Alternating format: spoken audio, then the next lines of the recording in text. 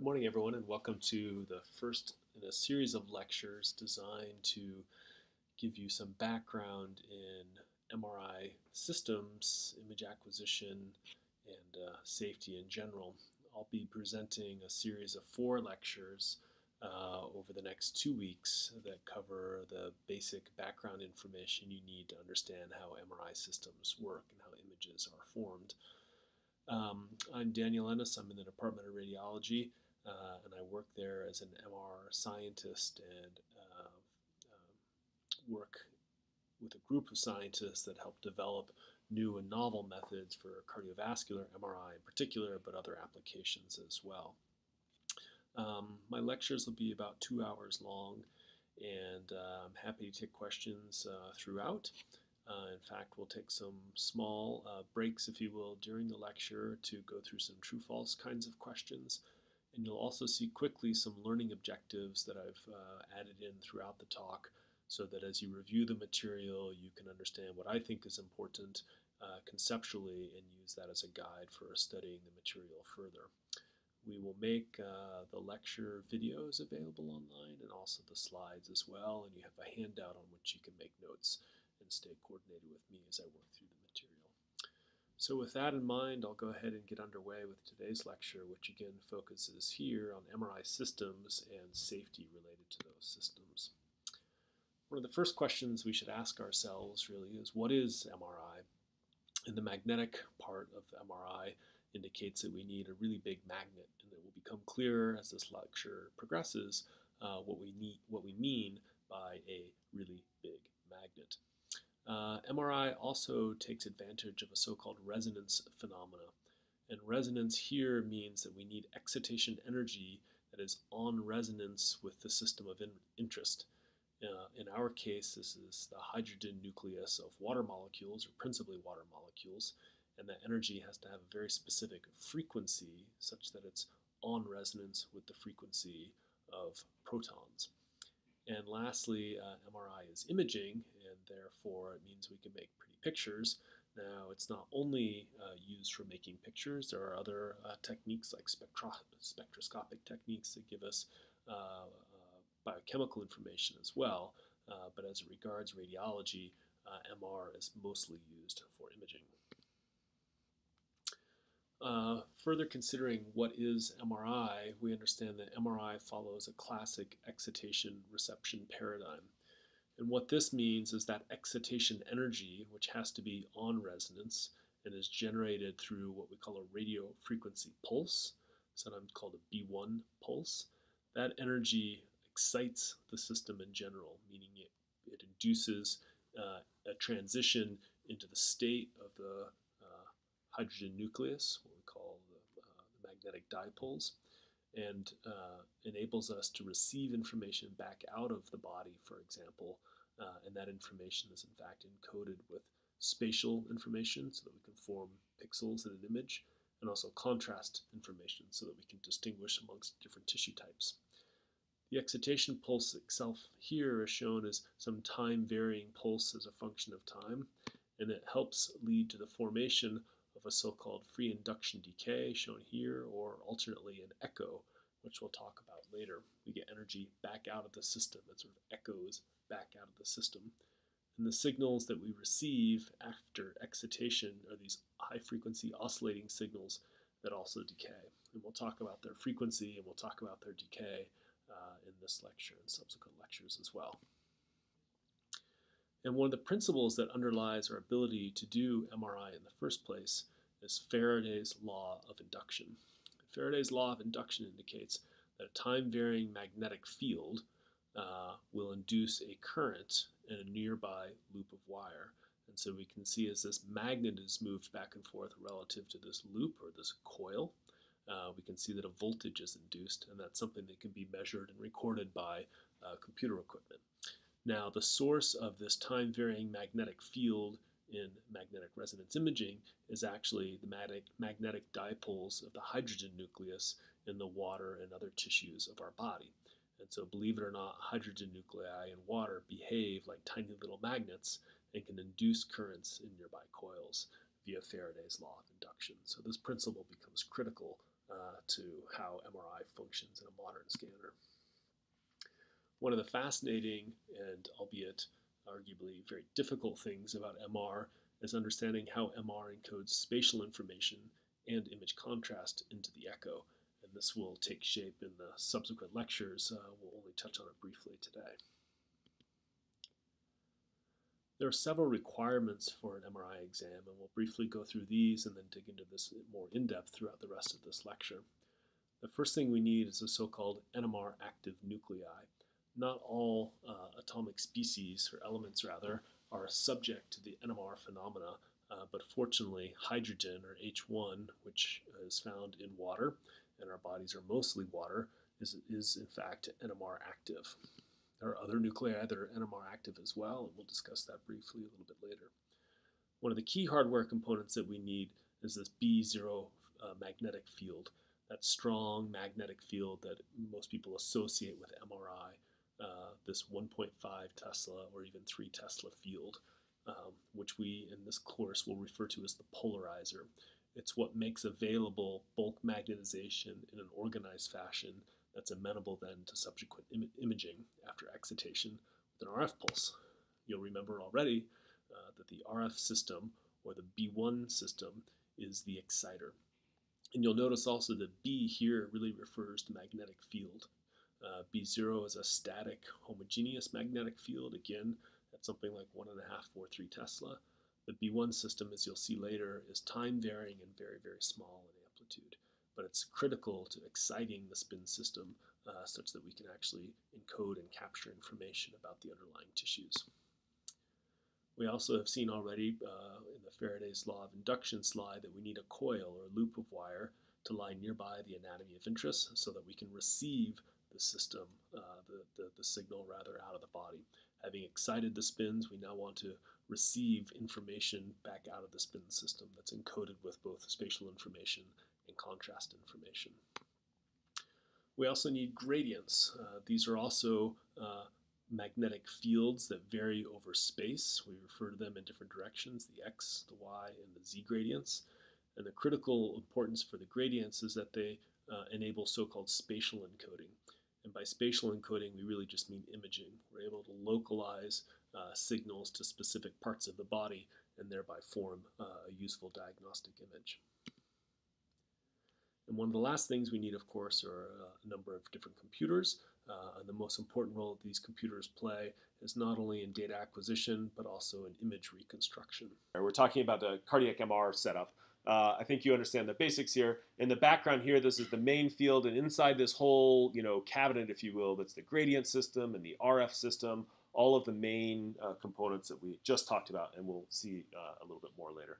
Uh, oftentimes we need earplugs and headphones to protect the patient's hearing and to provide a way for two-way communication. Uh, we may use things like ECG pads or even a bellows so we can synchronize imaging to the cardiac cycle or synchronize imaging to the respiratory cycle. And then, of course, we might use contrast agents and injectors uh, to administer those agents. Uh, and the consequence, of course, or one of the really uh, advantageous things of MR is that we can acquire these arbitrary imaging planes, which we'll talk about more uh, later as well. But we can do lots of neat imaging things, right? So let's look at a teardown of what's inside the tube or the magnet that you climb inside, or uh, when you're placed on a table, the table slides inside. And there's a bunch of components here, but to begin with, we'll just start with these two. The first one is what we call the main coil. So winding around the outside of this tube, if you will, is a bunch of superconducting wire uh, that carries a high current and that current's what is what generates this main B0 field, which we'll talk about uh, in the next handful of slides. And surrounding that main B0, uh, uh, those coils or those windings of wire, uh, is a bunch of liquid uh, um, uh, helium. And that liquid helium is held inside of a cryostat. The cryostat is a big kind of metal tank, and it keeps everything at superconducting temperatures. And I'll explain why that's important in a little bit. But just sort of uh, as a teardown perspective, you want to identify maybe where these hardware components lie. And we'll talk about the other colored components as we move forward. Uh, so in the middle here is what we call the body transmit or, or transmit and receive. So transmit is TX, RX is receive. And this is responsible for generating the B1 field and doing the actual exciting. It's located near isocenter. Isocenter is what we call the middle of the magnet. You can think of it as sort of the 000 zero coordinate, the middle uh, of the MR magnet. And that body coil is responsible for generating that RF pulse. It can be used for imaging, for receiving signals as well, but that's a less common application. And then the last thing we see here are the so-called X and Y and Z gradients. And the X, Y, and Z gradients were responsible for what? Remember? Spatial encoding, right? That's the, the one key thing you want to remember. Okay, so MR advantages and disadvantages, lots of things, right? One of the main advantages, of course, is soft tissue contrast, right? Uh, there's an, a, a, a, innumerable ways to actually manipulate image contrast in MR, and that's both a strength and a weakness in some regards. Uh, if we look closely here, we can obviously see that there are differences in the signal intensities that we get from muscle, fat, lung, liver, heart, blood, white matter, gray matter. And one of the really fascinating things about MR is here we can see some axial images uh, through the head. Uh, and just by changing some parameters, we'll talk about these parameters as we move forward. Just by changing some imaging parameters, we can get you know significantly different image contrast, going from something that's relatively flat this is, a, in fact, a proton density weighted image to something that has a lot of, say, white matter, gray matter contrast. And how we go about doing that, we'll talk about later. Um, one of the things that's, that's emerging, and I think you guys will see as practicing radiologists moving forward, especially if you uh, do a lot of MR, is increasingly methods for quantitative tissue characterization, right? How do we actually measure things about tissues? Not just present grayscale images that have diagnostic utility and differentiating sort of tissue types, but actually measuring things. And you might want to measure things for uh, uh, assessing disease progression or response to therapy. And I won't get into all the sort of technical ways that we go about doing that right now, but most methods, people are working on ways to make them increasingly quantitative so that we can get T1 maps and T2 maps and get actual numbers and measures about the T1 or, or things that are more physiologic like perfusion or perhaps diffusion. Um, and so these are, I, I, guess, in the top here, what I'm referring to are, are the more sort of conventional routine methods, uh, many of which you've probably seen in action already. And as the field progresses, I think you'll see more and more advanced methods where we're actually mapping, whereby we mean measuring things. We can also, uh, there are methods for estimating the fat fraction in tissues. This can be really helpful in, say, liver disease, or the iron content, also helpful in, in liver and cardiac diseases. Uh, and I won't get into all these other methods, but there are a lot of so-called advanced methods for MR as well. Uh, another advantage here of MR is uh, the ability to acquire so-called arbitrary imaging planes.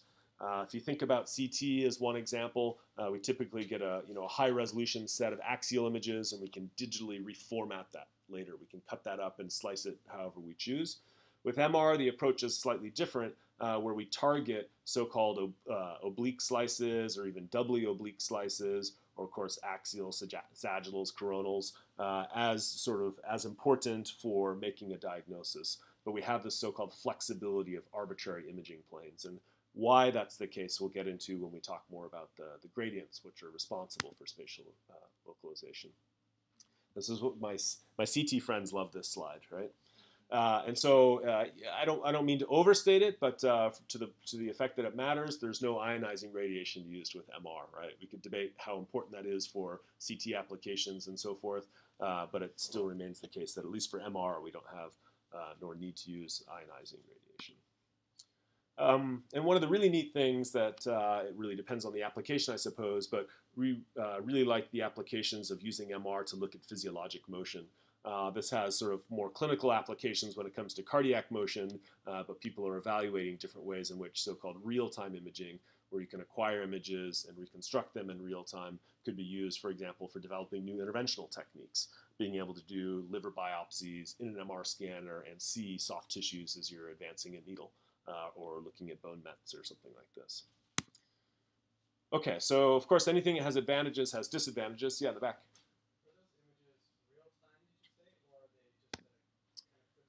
Yeah, yeah. So I went I went a little bit quickly there. So on the left hand side here, these are real time images. So they have a, a, temporal footprint of maybe about 50 milliseconds, and I can just get a stream of images one every 50 milliseconds.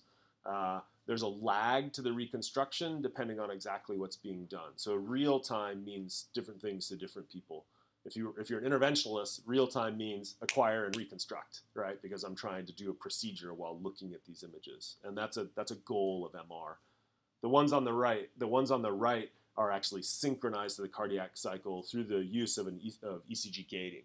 Um, we can do real-time imaging for cardiac uh, applications. If you want to look at, a, say, a patient with an arrhythmia, that's possible, but that's very sort of cutting edge and more research-oriented. Yeah. Yeah, yeah, yeah. These are played at sort of real-time speeds or, or real-life speeds. Okay, so again, anything that has advantages is going to have disadvantages. So what are the disadvantages? Well, amongst the principal disadvantages for MR are safety considerations, right? And so we'll talk about these as we work our way through the different hardware components, but we're very conscientious of patient safety and staff safety in an MR environment. Um, another disadvantage is arguably that MR is slow the rate at which we can acquire data is not as fast as it is for CT or ultrasound. Um, and so there's a huge amount of research effort spent on making MR faster and faster and faster and faster. And big advances there as well. It used to take 10 minutes to get a single spin echo image, one slice, you know, back in the, say, 80s, and now we can do that in seconds. So there are and have been huge advances here in the speed of, of at which people can um, procure an MR exam. Uh, I think part of what's happened there is that as things have gotten faster and faster, they've just acquired more and more forms of contrast. So now you get T1s and T2s and proton densities and fat water separated. and Let's do perfusion and let's do contrast enhanced and pre-contrast. And so your exam queue is is uh, is building uh, because we can acquire so much uh, image data so quickly. Um, it's an expensive imaging modality. We'll talk a little bit about that. And in some sense, it can be relatively non-specific, right? It doesn't have the specificity that PET does, a radio tracer for a specific ligand, right? Uh, we have T1 changes for different reasons. We have T2 changes. Different physiologic processes can have the same impact on the image, uh, and that makes your job a little trickier, right? Because it doesn't have this molecular specificity. And of course, it can be very technically challenging, right? These are these are difficult machines to operate. Uh, there are a lot of free parameters, a lot of things that you can potentially change, uh, and that poses a, a, a, challenge for the techs, and it poses a challenge for getting uh, routinely high-quality imaging exams. Um, one of the first things you'll do when a patient comes in, uh, there'll be a patient screening form. I won't go through this whole thing, but it just highlights that we have to inquire with the patient about their background medical history so we can infer or, or discover whether or not they have a potential contraindication for an MR exam.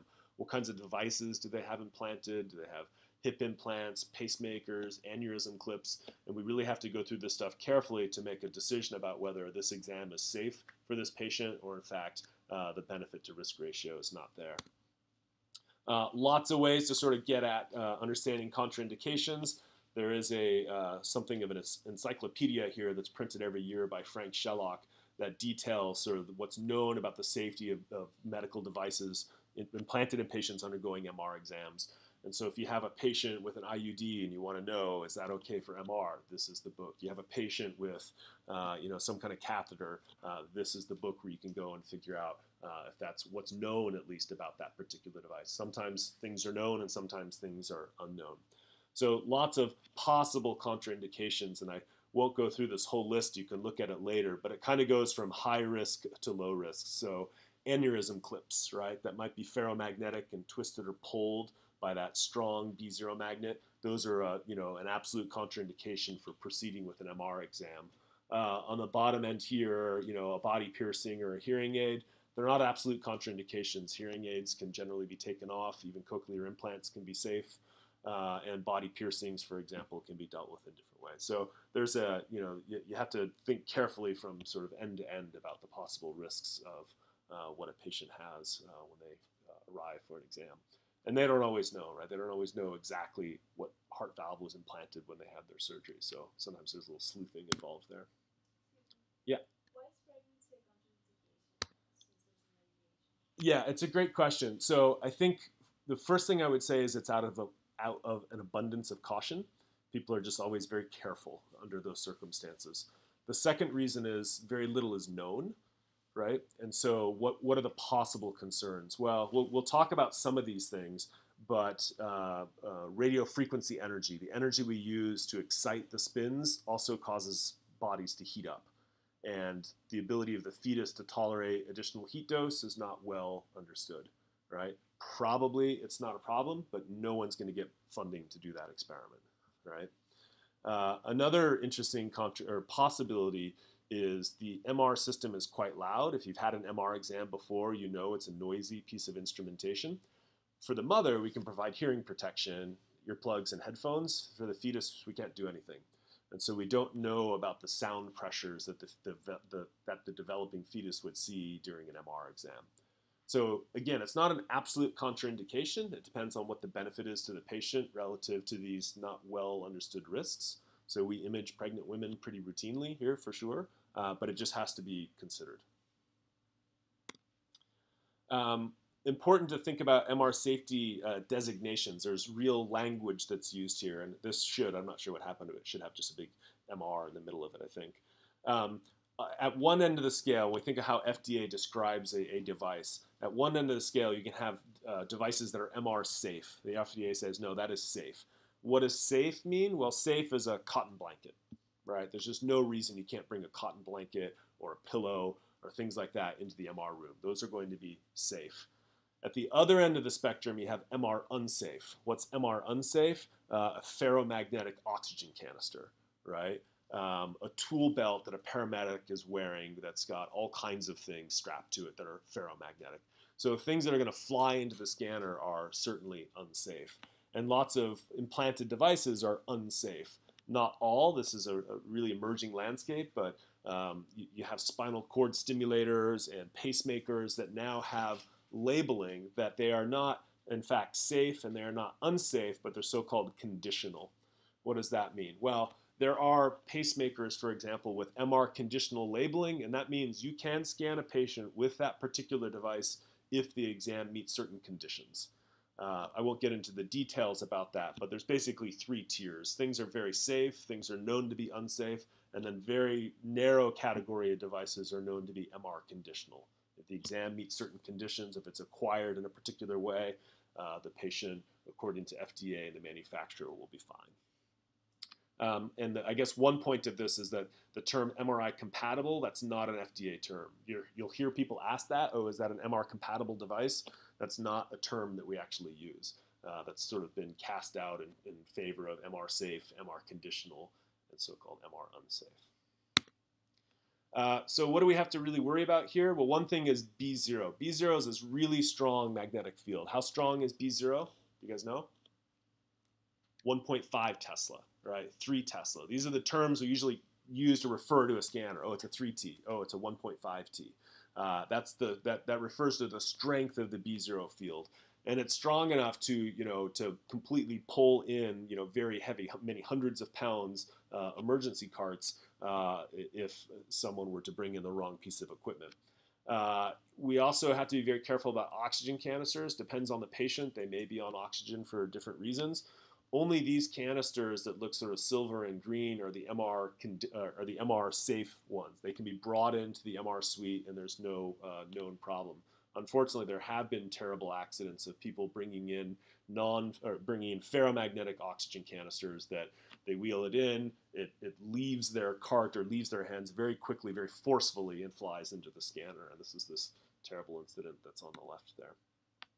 Um, and so we have to remember, importantly, the B0 field, it's always on. It's very, very strong and always on. It will pull things, it'll pull your pocket knife, your keys, your glasses right off your face, no problem. Uh, it's strong enough to pull in much larger devices as well. Uh, and of course, if you go on the web, there's all kinds of um, disaster pictures of things that uh, people have dragged into scanners.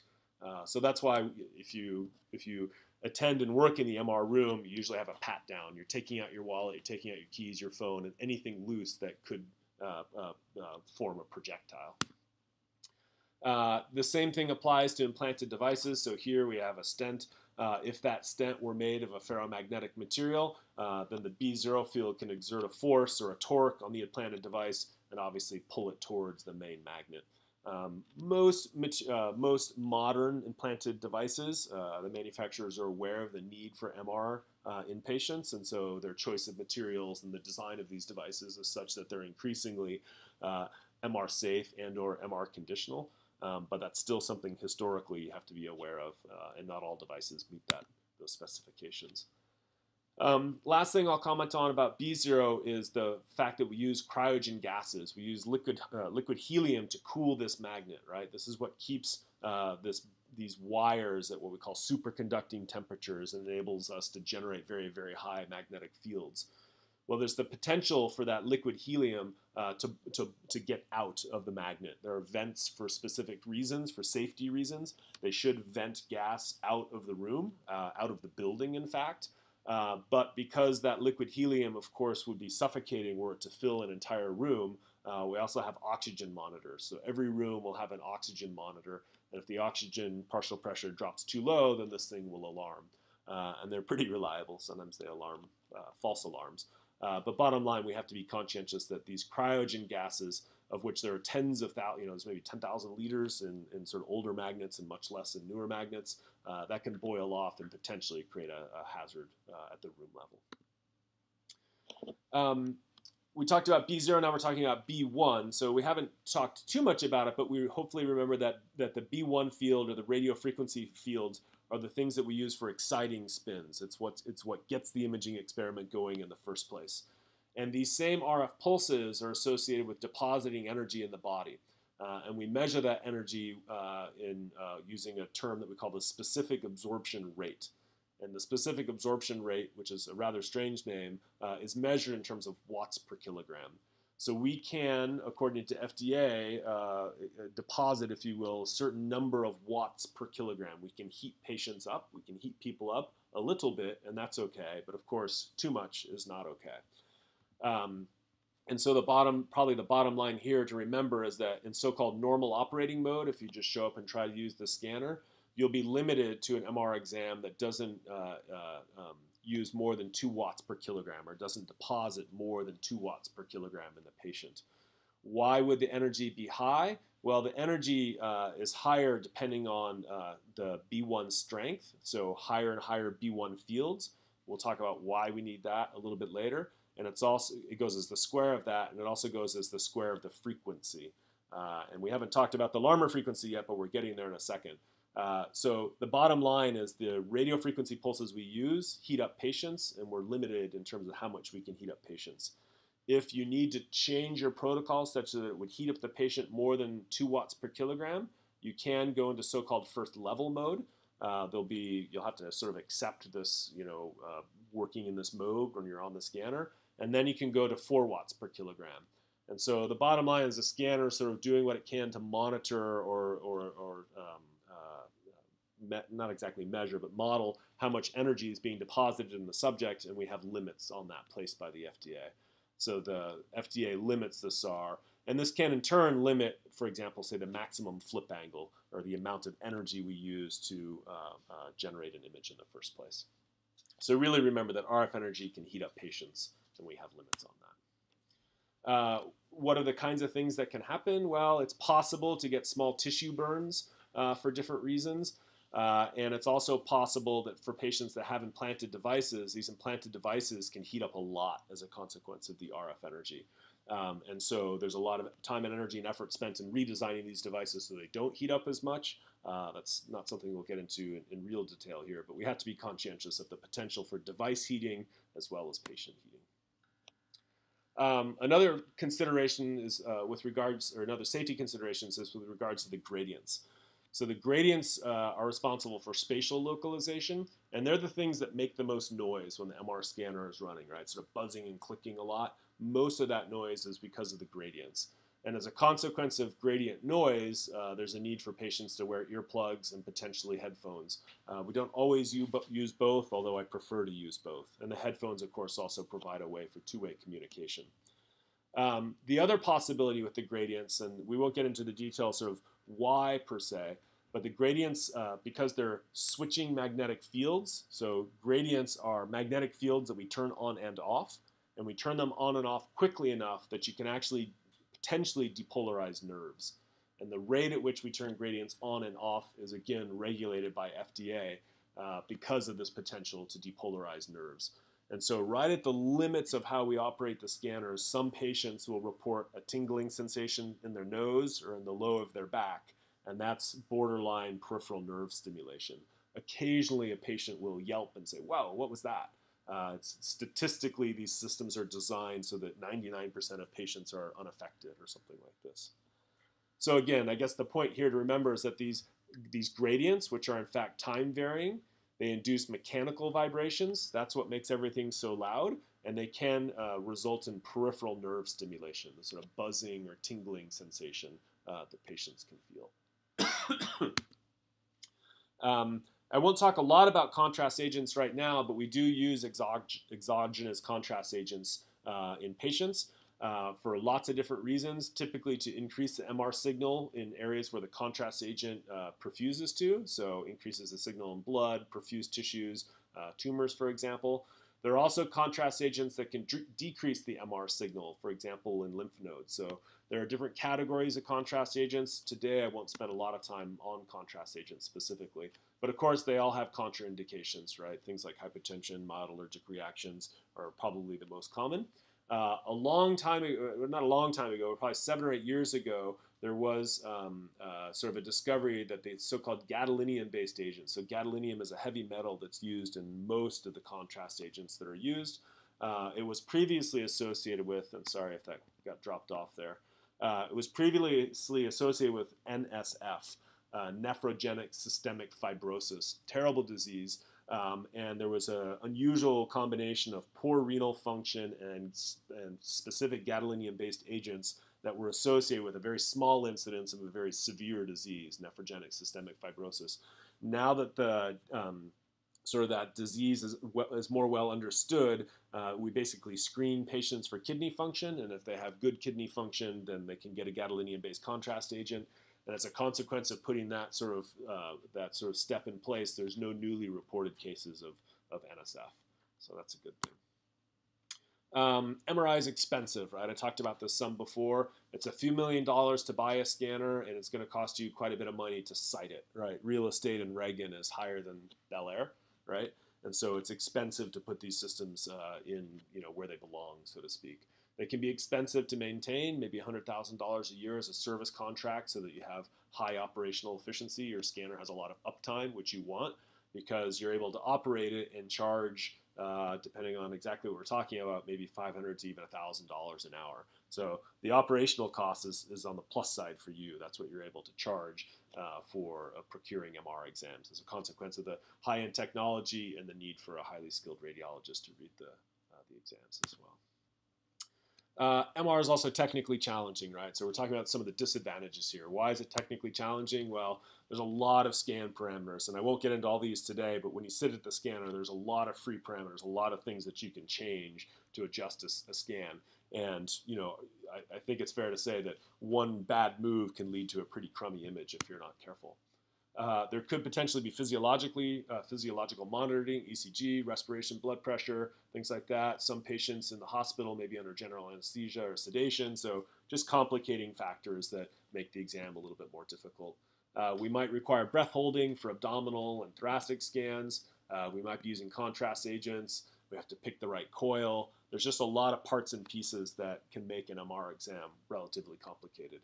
Um, uh, and yet the diagnostic utility of the images, of course, outweighs all of these technical challenges, but these are things that people are working on to sort of simplify, if you will.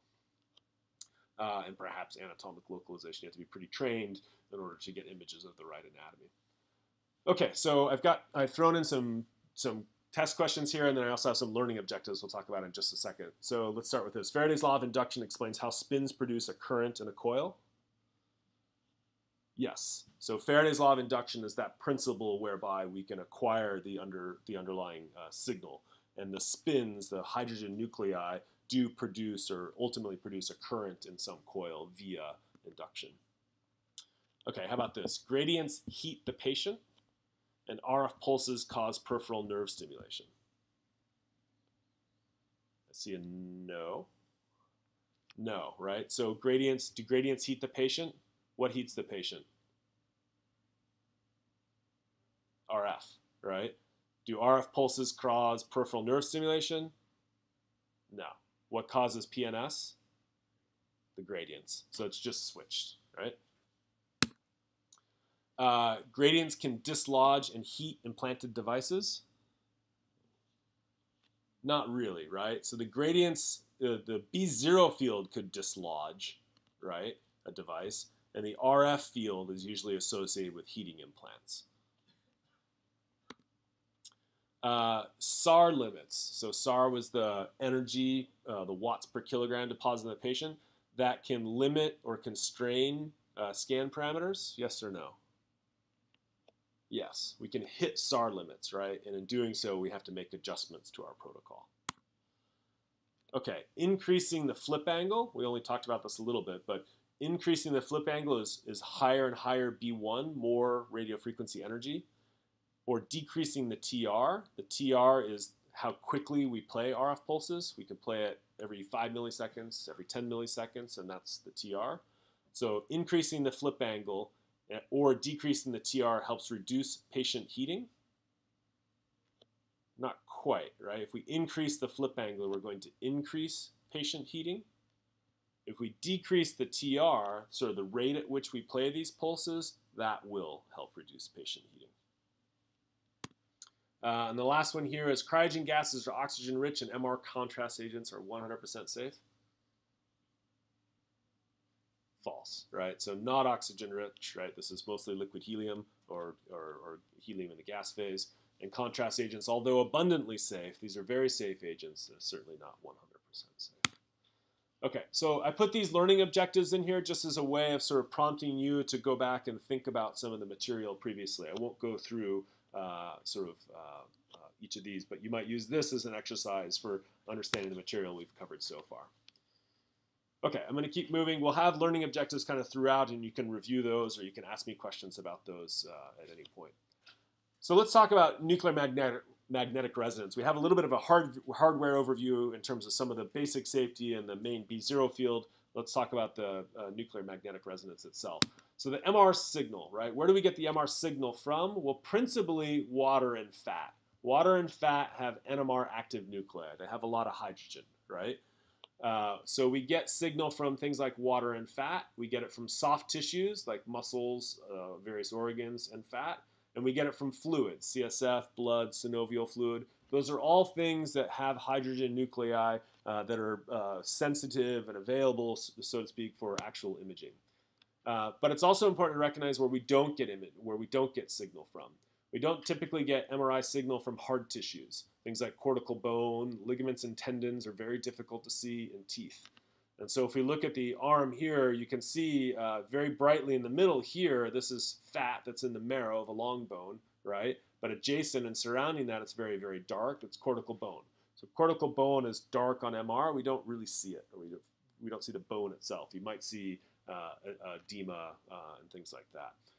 Uh, okay, where else don't we get signal from? We don't get signal from gases, right? Lung, uh, air spaces, sinuses, bowel. So anything that's an airspace or air-filled cavity, we also will not get an MR signal from. So we get it from some places, we don't get it from other places. Oops, I don't know why this looks so funky. Um, that's right. So what is this whole NMR uh, phenomena about? Well, it turns out that the hydrogen nucleus has three important properties. You're familiar with the idea of it having mass, and in particular, we're just talking about the, really talking about the proton. But the proton has mass, the proton has charge, and what actually matters to us a lot is that the proton also has spin. And this is not a concept that most of you probably covered in, in any physics course uh, ever. But the consequence of spin and charge and mass is that something can be NMR active. What is spin? Well, spin is this intrinsic form of angular momentum, and you can really just sort of think of it as spinning. But there's something about the proton inherently, just like it has mass and you can't take it away, it has charge, you can't take it away, it has spin that you can't take away. It just inherently spins. Um, different nuclei will have spin angular momentum. In particular, they have to have an odd atomic mass, the number of protons and neutrons, or an odd atomic number, the number of protons. So those things, those are nuclei that will have so-called spin angular momentum. So they could uh, be available for MR imaging. Uh, spin angular momentum, we'll see in a second, that leads to so-called precession. Uh, spin and precession are not the same things. I'll make that distinction in a second. But a top spins, right? You spin it, and then it can also kind of wobble around at another frequency, and that wobbling is what we call precession. So a top can spin and precess. The hydrogen nucleus also spins and precesses.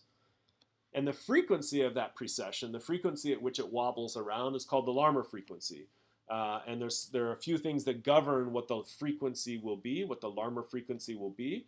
In particular, it depends on what we call the gyromagnetic ratio, or gamma.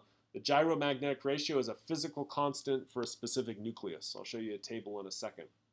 Um, and so uh, what's so important about the hydrogen nucleus? Well, it has spin, it has charge, and it has mass. Those are the three sort of critical properties there. Uh, this is just a, a, large table of, of possible uh, uh NMR active nuclei, and the only one we really care about right now is hydrogen. I do think it's important to remember the gyromagnetic ratio.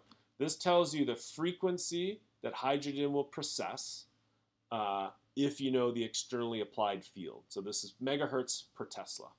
So we just multiply this number by 3 to figure out what's the Larmor frequency at a 3T field.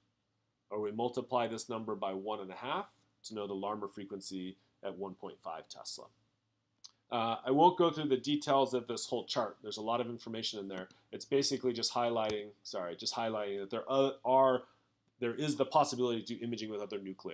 Carbon 13, oxygen 17, fluorine, sodium, phosphorus. These are possibilities, but they're esoteric and, and certainly not widely used clinically. Uh, mostly, I should say, they're mostly not used because we can't generate high quality enough images.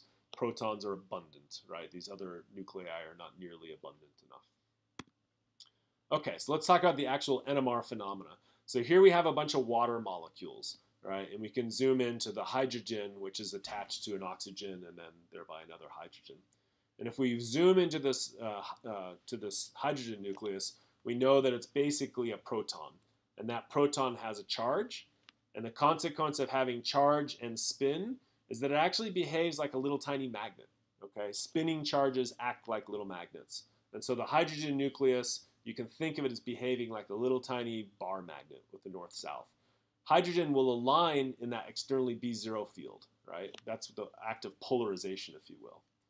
We also have spin and mass, and spin and mass means we have angular momentum.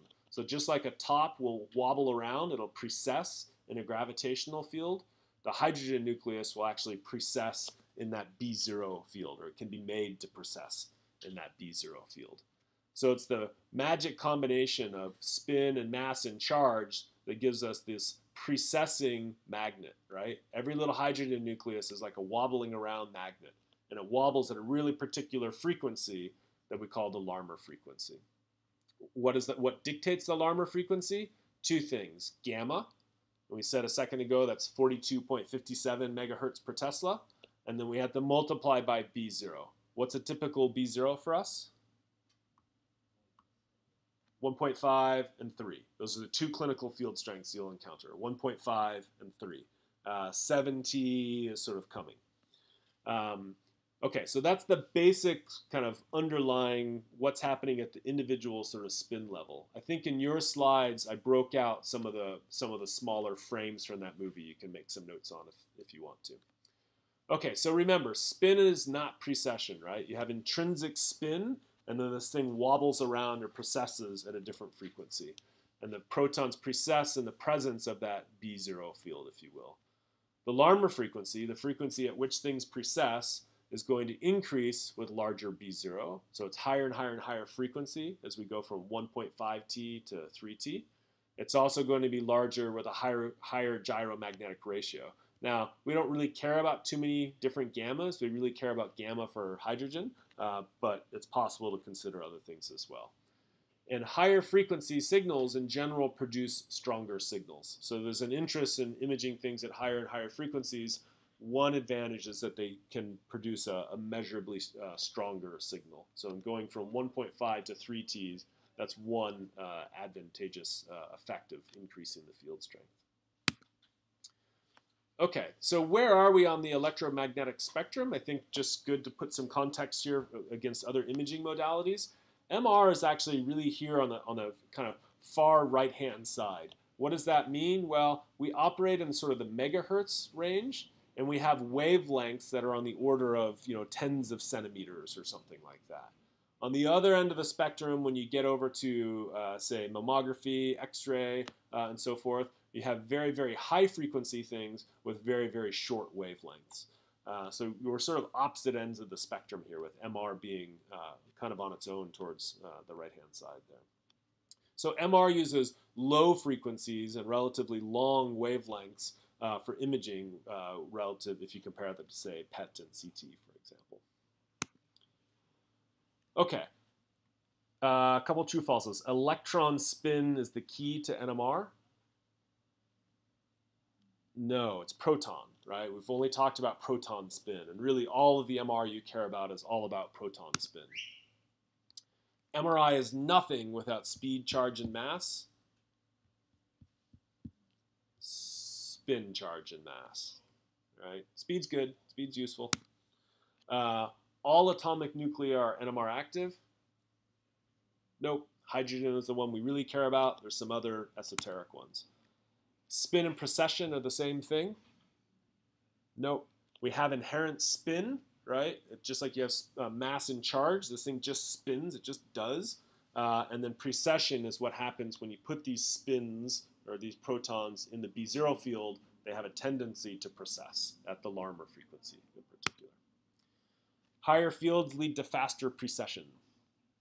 Yep, that's that Larmor relationship, right? Omega equals gamma B0. And of all the equations you, sh you should remember, that's one of them. I think you should know gamma, and I think you should know that omega equals gamma B0.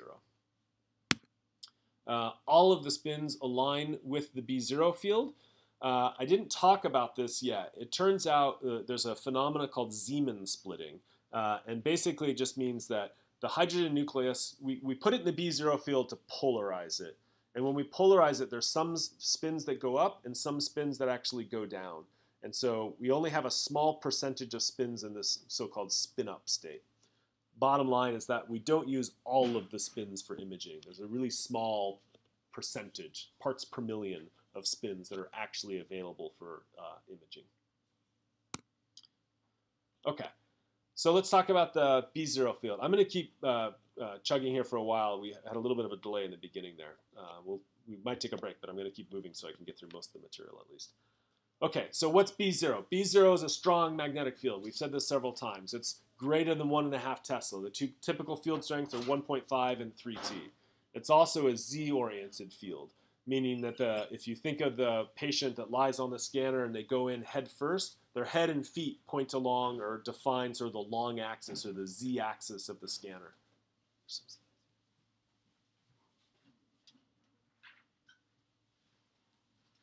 Um, so it's a strong field that's Z-oriented. B0 also generates what we call bulk magnetization. The bulk magnetization is the alignment of all of those hydrogen nuclei, right? B0 is the polarizer that aligns things. We have billions and billions and billions of water molecules in a pixel, right? And all of those individual atomic nuclei contribute to forming what we call the bulk magnetization. And there we just mean the sum or the average behavior of all of those spins we estimate in a little pixel, right? We image with pixels, even though there's billions of spins in a pixel. Uh, and the more B0 we have, the more bulk magnetization we have.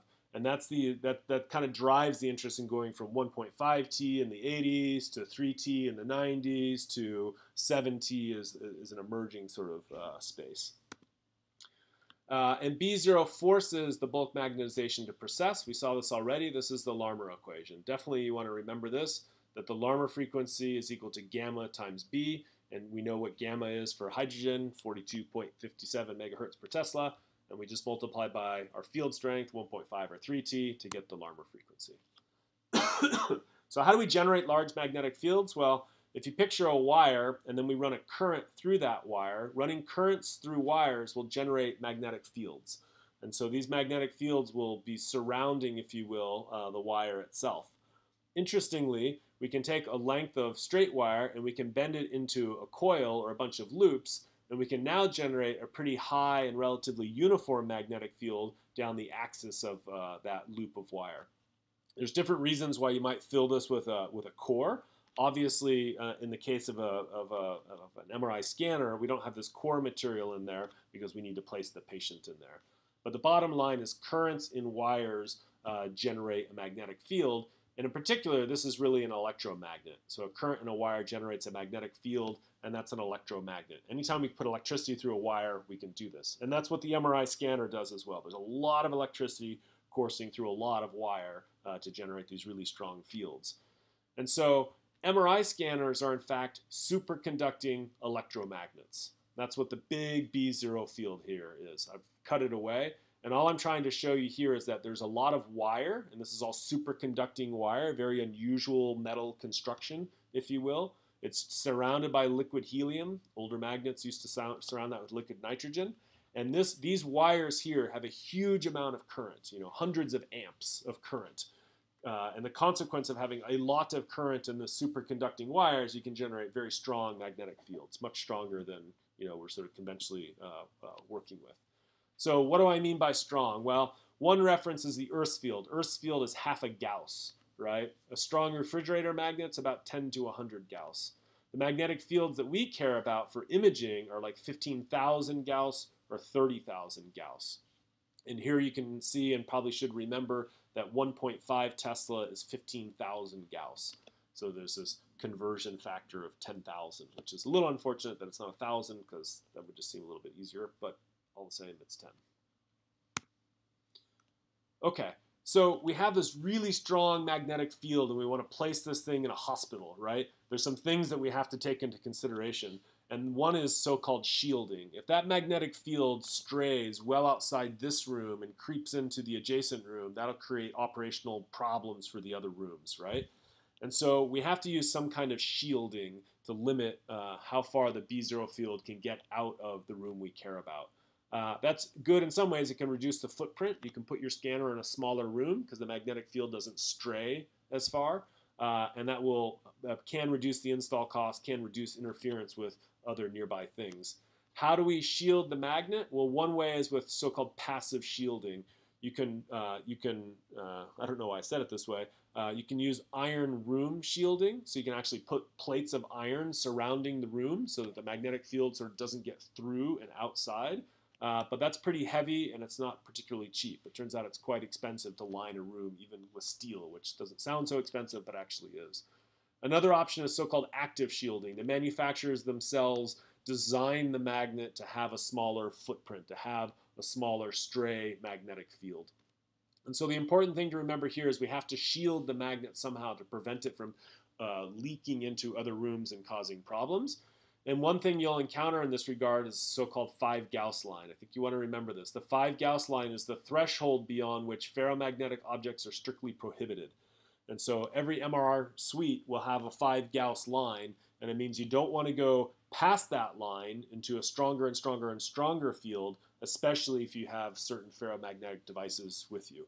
Uh, and that's things like pacemakers, um, general electronic devices, but also your wallets, your keys, your pager, your glasses, your pen, all these kinds of things. So we're always conscientious from a safety perspective of, of the location of the 5 Gauss line, which is going to be very near and close to the scanner itself, uh, but we have to know where this is. Um, there are different MR zones. I won't sort of bore you with the details. The basic idea is that the zone one is where you come into an MR environment, sort of the building itself, and it increases all the way up to zone four where you're in the scanner suite itself. And this is generally regards how we uh, sort of monitor patients and make sure that patients make their way safely before an examination in the MR room, that we have a chance for them to disrobe, change their clothes, and uh, leave their wallet and keys behind. So four different zones before you get to the MR suite itself. Okay, so B0 strength. In general, B0, uh, as it gets stronger, that's going to increase the polarization. It's going to increase the amount of hydrogen nuclei that we can use for imaging. And why is that good? Well, in principle, that can increase your signal to noise. And signal to noise is good, right? We want higher quality images, more signal, less noise. Uh, it increases roughly proportional to B0 squared. And if you have more signal to noise, then maybe you can increase your spatial resolution, maybe your temporal resolution, or decrease your scan time. So different ways that those things sort of trade off. Uh, there are disadvantages as well. And one of the main disadvantages of going to higher field strengths is that as B0 increases, the specific absorption rate in general increases. So it's harder to have a low SAR exam at 3T. and SAR can become a limiting uh, uh, condition for putting together protocols. So we have to be a little conscientious of uh, what happens at higher and higher fields. Another uh, interesting thing that happens is that as you increase B0, you increase what we call chemical shift. We haven't, we're going to talk about it now, we'll talk about it a little bit later, but it turns out that fat and water don't resonate at the same frequency. So we have the Larmor frequency for water, fat's a little bit different from that by a couple hundred hertz. Uh, as you go, as you increase the B0 field from 1.5T to 3T, you'll actually increase the amount of chemical shift that's, uh, that's apparent. Uh, and that's because you increase the, the change in frequency between fat and water. So fat and water, uh, the thing to really remember is that fat and water have different, slightly different Larmor frequencies. It's about 220 hertz different at 1.5T and 40 hertz different at 3T. We'll talk about this a little bit later, but you have so-called chemical shift artifacts, type 1 and type 2, uh, that can be confounding in your imaging. Uh, again, we'll get to that a little bit later, but that's uh, something to think about. Uh, and higher and higher field strengths can be good for spectroscopy. I won't spend a lot of time talking about spectroscopy, but it gives you the ability to, to see sort of specific chemical species a little bit more uh, easily if you have higher and higher field strengths. A downside, of course, is that as you increase B0, you're going to increase the cost, and the rough number I use is a million per Tesla, so you have to uh, appreciate that as well. Let's talk a little bit about chemical shift. So chemical shift, the idea is that hydrogen nuclei precess at different frequencies depending on their local chemical environment. Uh, so orbiting electrons can shield the nucleus. You have, depending on the exact uh, configuration of the molecule, and the specific Larmor frequency uh, reference that we use is tetramethylsilane. It doesn't really matter too much, but the chemists assign that a chemical shift of zero, principally because all of these hydrogen nuclei have very identical uh, electron clouds uh, surrounding them. What does that all mean? Well, more practically, what we care about is the shift between water and fat. Fat has a slightly different uh, Larmor frequency. It's still hydrogen that we're imaging. It's still H1, but it has a slightly different Larmor frequency because the electrons surrounding a proton in fat are different than the electrons in water. Um, and the consequence is that you have this small uh, shift uh, of fat uh, molecules relative to water molecules. So they don't resonate at the same frequency, and they're different by a few parts per million. So not parts per hundred or percent, but parts per million. What does that mean? Well, it's about 3.35 parts per million different of, between fat and water, and that means you're different by about 200 hertz or 215 hertz if you multiply the parts per million by the Larmor frequency, in this case at 1.5 T. So this is the gyromagnetic ratio for water multiplied by 1.5 T. And it just says that fat's a little bit different. And that actually causes uh, some image artifacts that we'll talk about later. Um, we refer to this as chemical shift. Mostly when we talk about chemical shift, we just care about the chemical shift of fat. Okay. Uh, B0, the B0 we use in these scanners is a rare earth permanent magnet. No, what kind of magnet is it? We use two big words. It's an electromagnet, and it's also superconducting, right? So the B0 is a superconducting electromagnet. Uh, one Tesla equals 1,000 Gauss. No, this is that unfortunate thing, right? It's 10,000.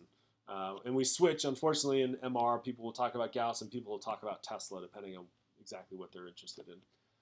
Higher fields, higher B0, increases polarization, which contributes to better image quality. Yep, I see a couple nods. That's that's the underlying reason why there's an interest in higher and higher field. More polarization, more uh, protons available for imaging. Exams at higher fields have lower SAR.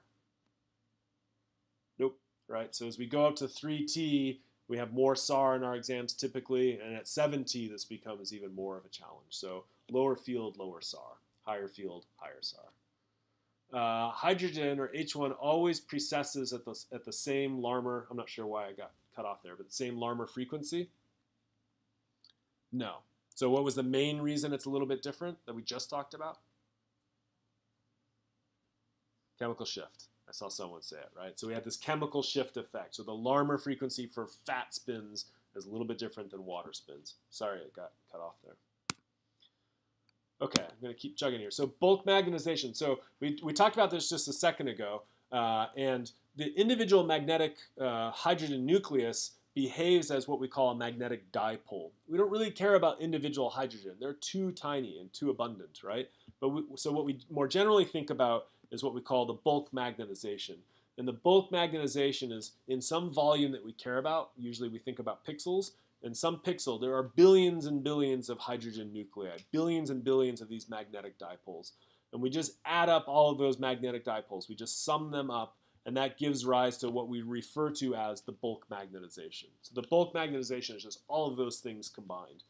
But you have to remember, you know, Avogadro is at play here, right? And so we're talking about, you know, 10 to the 23rd magnetic dipoles in a, in a, a voxel or a pixel that's 2 by 2 by 10.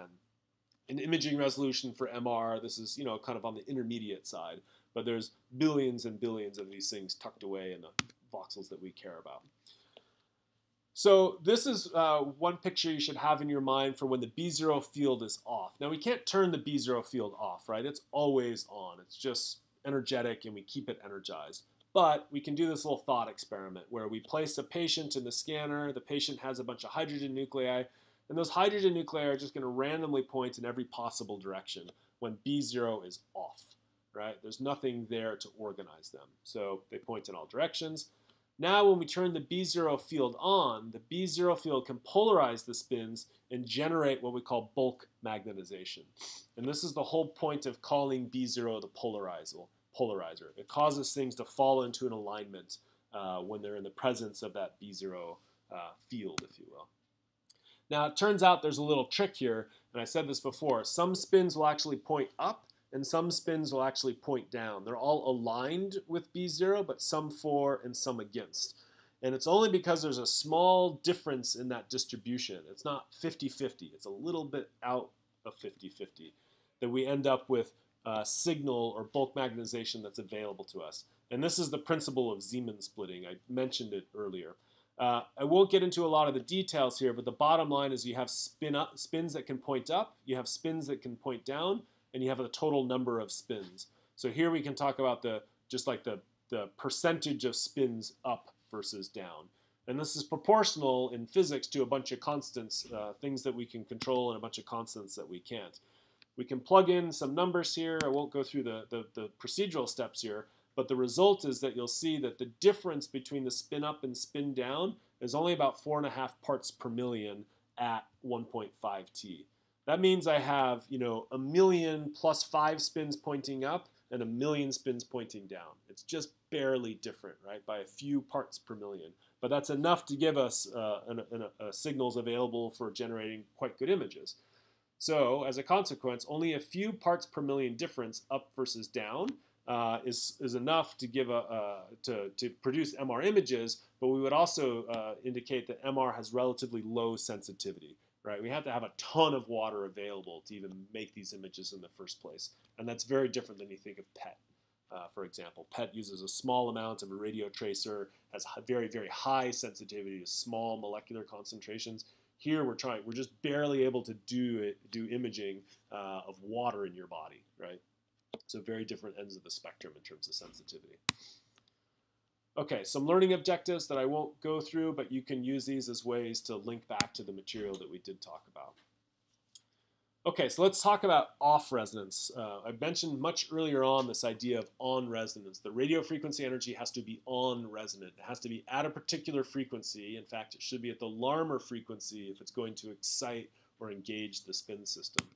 So what's off resonance? Well, the B0 field isn't perfect, right? We want it to be a one and a half Tesla field, but it's not a one and a half Tesla field, uh, you know, exactly, right? And so the idea here is that B0 magnets, or the magnets in general, aren't perfect. B0 field inhomogeneity, uh, meaning if it's imperfect, that can lead to image uh, distortions and phase artifacts, different problems with your underlying images. Ideally, we want B0 to be really perfect. We can, in fact, improve the homogeneity or the, the evenness of the B0 field in two ways. We can do so-called passive shimming. So imagine you've got a big magnet and it's close to 1.5 T but not quite. Uh, the engineer can actually place these ferromagnetic structures in the scanner to kind of shape the field. They can push the field around by putting in these little uh, passive shims.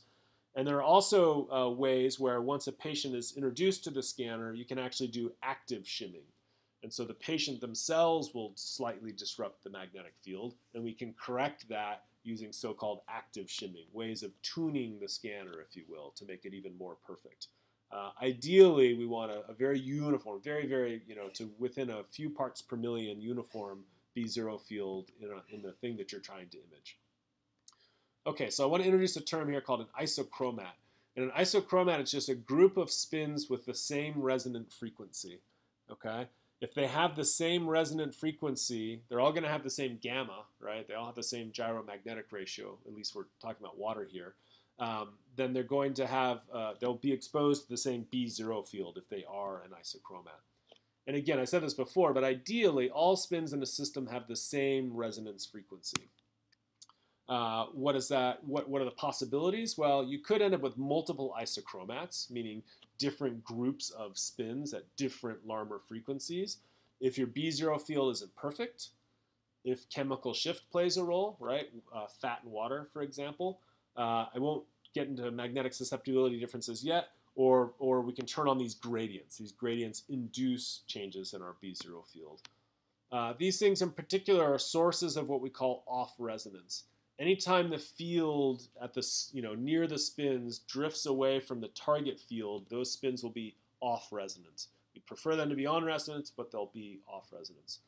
So off resonance refers to spins that resonate at a frequency different than gamma B0. Something has happened, typically to B0, to shift those spins away just a little bit.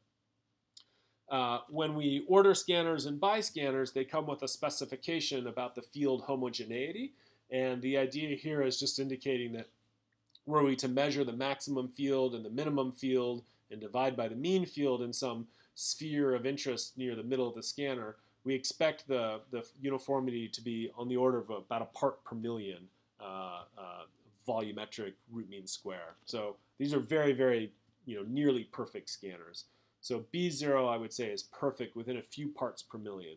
So it's not 1.5 Tesla plus or minus 0.1 Tesla, right? It's 1.5 Tesla plus or minus a micro Tesla, right? Very uniform fields. okay, so what's the consequence of off resonance? Well, it can, can contribute to what we call spin dephasing, or the, la the loss of what we call spin phase coherence. I'll show you a diagram in just a second, usually within a voxel, and that leads to a decreased echo or a decreased signal that we actually measure. And so let's look at uh, some spins on the left and some spins on the right. Uh, in a second, this will start moving. And the spins on the left, we have these as individual magnetic dipoles, and they're going to be precessing around in a really homogeneous field, a perfect field, if you will. On the right-hand side here, you have the same set of spins, but they're going to precess in an inhomogeneous field. On the left-hand side, uh, here we have a coil as well. So on the left-hand side, these spins are wobbling around, and as they wobble around and precess, they're going to they're going to swing past my coil and they're going to give me a, a, a voltage or a current that I can measure. And that voltage or that current is precessing at the Larmor frequency, right? This is maybe 64 megahertz or something like that. Uh, and those spins stayed coherent. They all stayed together because they were all precessing at the same frequency.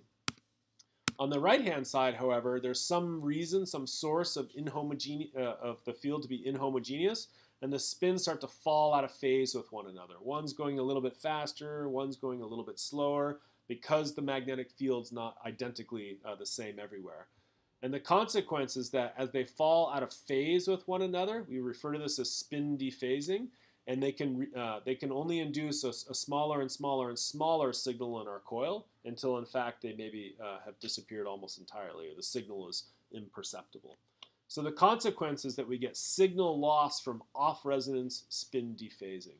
We want our spins to stay coherent, but they don't always. And if they don't, then we lose signal. And losing signal means uh, poor image quality or even really dark images. Okay, off-resonance, true, false. Fat is the only source of off-resonance. False. There's lots of sources, right? Uh, susceptibility differences, uh, different chemical shift uh, agents, uh, magnetic field imperfections. Intravoxel spin dephasing leads to signal losses. True or false? True, right? This is the concept I was just uh, trying to convey, where that loss of spins pointing in the same direction causes the signal amplitude to drop. The specific chemical environment of H1 shifts the local magnetic field and hence the Larmor frequency. Maybe a little confusing as written, but, but yes, right? If, if, if those hydrogen nuclei are tucked away in fat or they're tucked away in water or they're tucked away in something else, uh, that local uh, chemical environment will change the Larmor frequency slightly.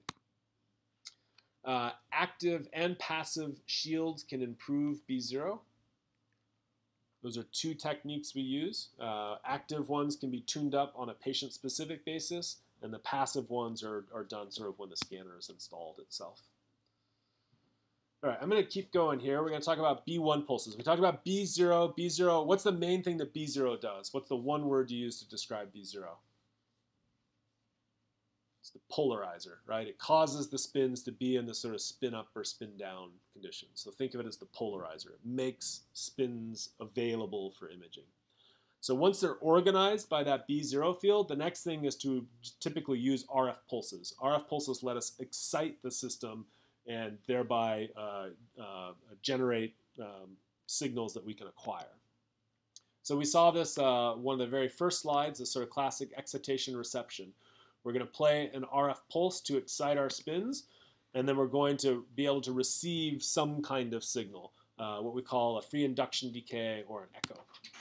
And that free induction decay or that echo uh, induces a current in a, nearby, a nearby coil. That's Faraday's law of induction.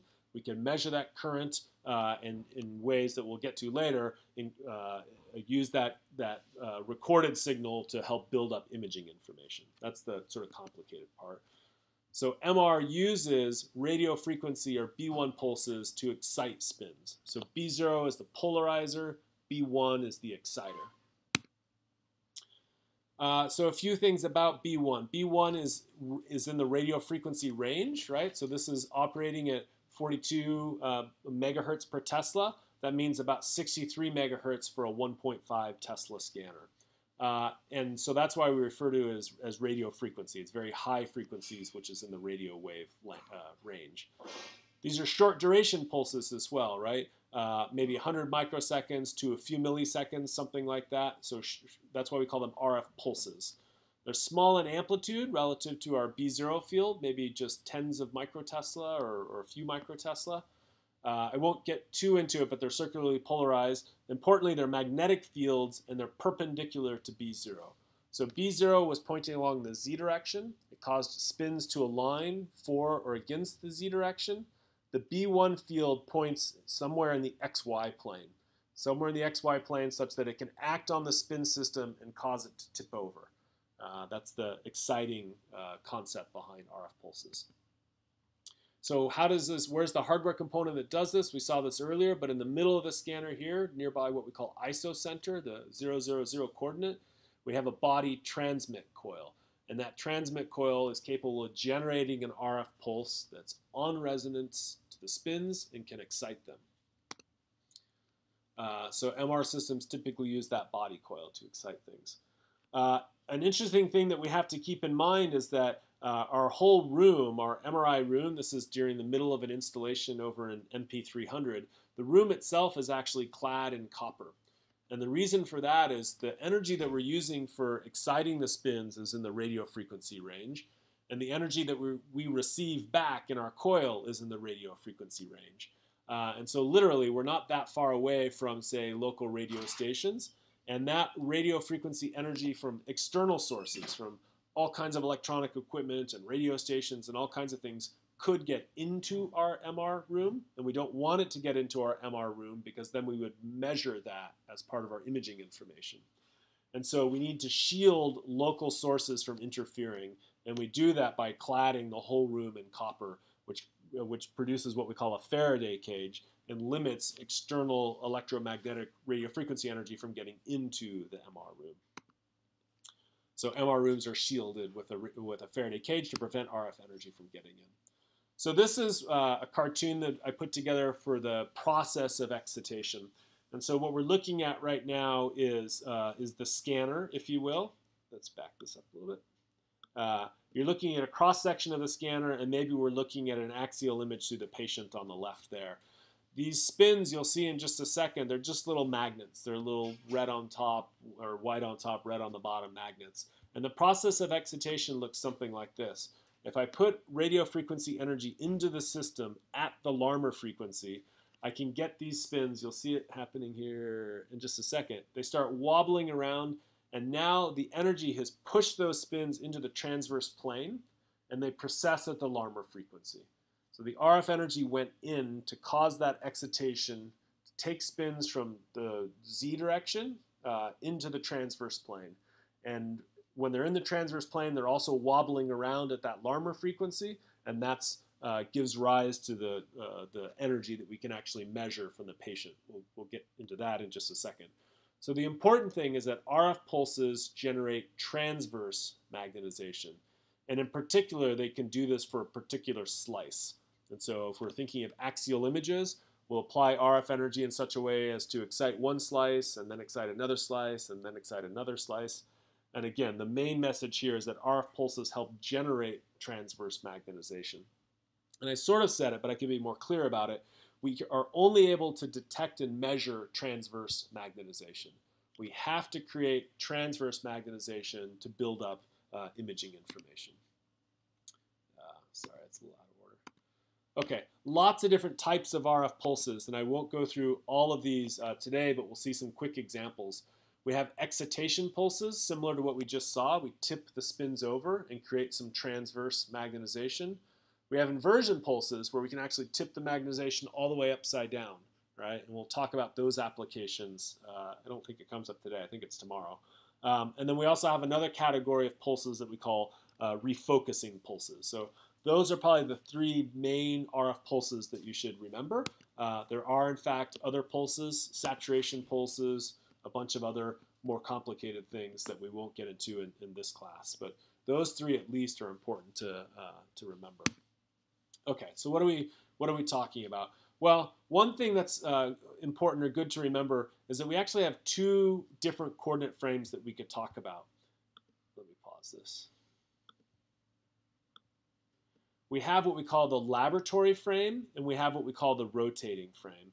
The laboratory frame is you and I standing next to the scanner and looking at it and trying to understand what a spin is doing while it's being excited. So here, picture orange as, a, as, a, as the bulk magnetization, right? This is the composite magnetization from billions and billions of hydrogen nuclei. Now I'm going to put some radio frequency energy into my system at the Larmor frequency, and this is the process that we'll undergo. That radio, oops, don't want to start that one. This one.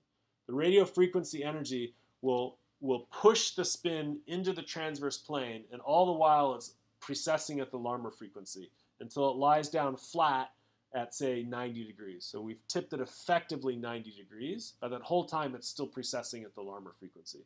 This can be confusing. This is what is physically happening in the so-called laboratory frame, but it's a little bit confusing maybe to conceptualize.